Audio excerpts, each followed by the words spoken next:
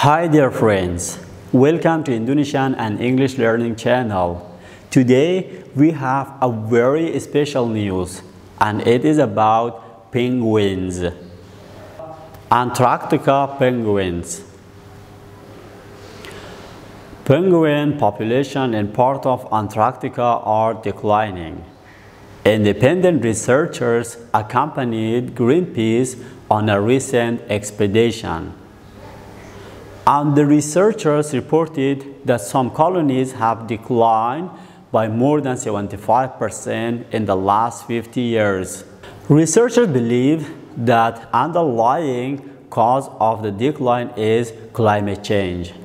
Penguins are losing their main food source, krill, because ocean temperatures are rising and sea ice is melting. The decline is very serious with a 77% drop recorded in Chinstrap penguin colony since the last survey in 1971.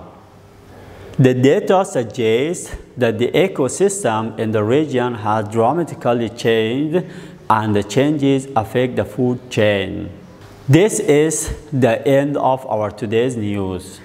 Thank you very much for watching. Please, for our support, don't forget to subscribe and leave your lovely comments.